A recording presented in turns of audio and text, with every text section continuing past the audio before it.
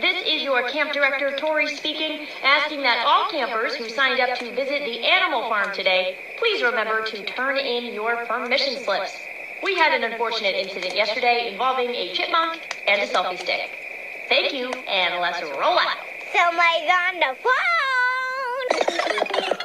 Hello, thank you for holding on the line. Dirk the Fourth and Forgotten Chipmunk speaking. Hi, Dirk. Hello, child. And what is your name? Ava. Ava. And how old are you? Five. Five years old. All right, that's nice. And tell me something about yourself. What? I like to eat sugar. You like to eat sugar? Well, there we are. There we are. Me too. Well, uh, me as well. I love some sugar. That's good. What What is your favorite treat? Um, lollipops. Lollipops. They're good. You know, I have a friend who's a llama, and he got a lollipop stuck in his fur once. It was very bad. Yeah. And ever since that time, he's never wanted anyone to touch him. Isn't that strange? I heard that on the radio. Are you all there? So you know then. You know. You're with me on this.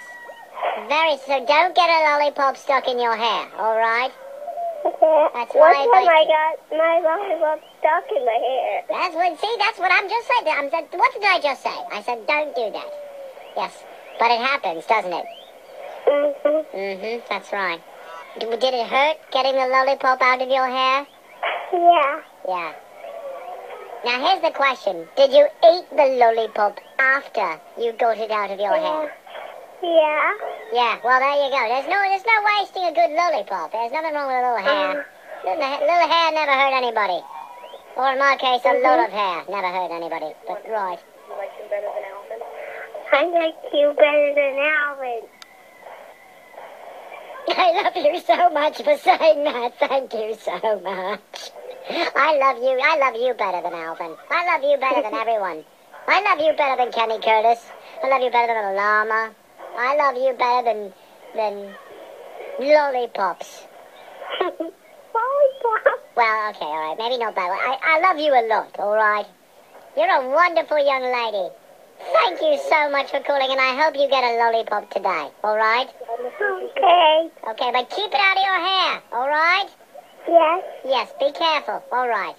Lollipop safety is important. Okay. Okay, all right. We'll Thank talk you. soon. You're welcome. Bye-bye. Bye-bye, Dirk. Love you. Hi, Dirk. Love you, Mom. Bye. Bye, Dirk. Bye. So long.